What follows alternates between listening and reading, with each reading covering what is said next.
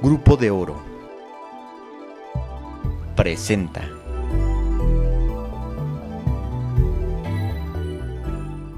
El presidente de México, Felipe Calderón Hinojosa, consideró que una forma de generar una percepción positiva del país para atraer turistas es proporcionarle a los visitantes cifras y estadísticas sobre incidentes donde hayan estado involucrados viajantes extranjeros.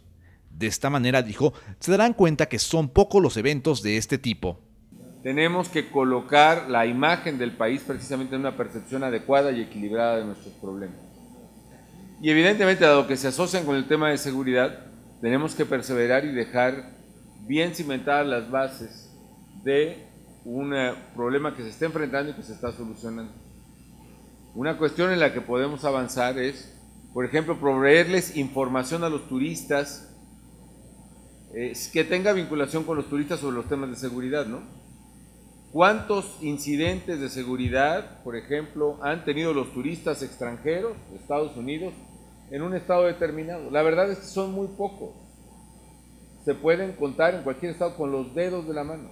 Al encabezar la reunión del Acuerdo Nacional por el Turismo, el jefe del Ejecutivo Federal señaló que otra manera de promover a México como un país seguro es que todas las entidades logren certificar a sus corporaciones policiales. Y podemos avanzar, por ejemplo, un esfuerzo que se hace siguiendo la ley de seguridad pública de ir certificando los cuerpos policíacos. Un cuerpo policíaco certificado es aquel donde todos sus policías tienen controles de confianza aprobados. Hay instituciones internacionales como CALEA, por ejemplo, que certifican a esas policías confiables. En casa de gobierno frente a ocho gobernadores, empresarios y representantes del sector turismo del país, Felipe Calderón indicó que otro grave problema que tiene México para la captación de turistas es la interconectividad aérea. En este sentido dijo que en este momento el país no tiene la capacidad para atraer a todos los turistas del mundo debido a que no existen las líneas aéreas suficientes para hacerlo.